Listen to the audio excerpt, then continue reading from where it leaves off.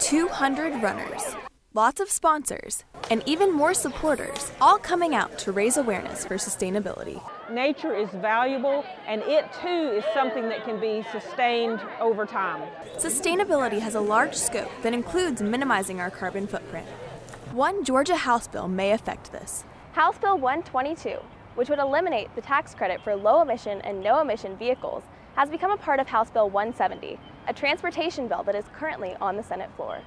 I personally, in looking at this information, which was collected by EPA and the Department of Energy, don't believe it, is a, a, good thing environmentally to spend 5,000 tax dollars on, on a car that may only have put 2% less CO2 in the air than another type car that you don't incentivize at all.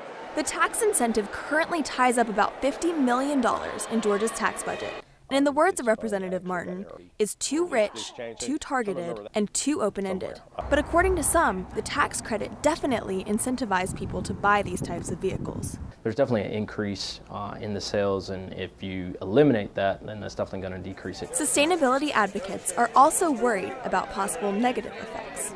I think it's great the incentive for people to go out there and get electric cars, but if you cut that, you know, what, what will happen is hard to say. The answer to that question will be determined only if the bill becomes law. From there, consumers and those in the car industry will decide the future of these cars and possibly Georgia's carbon footprint. Abby Jessen, Grady News Source.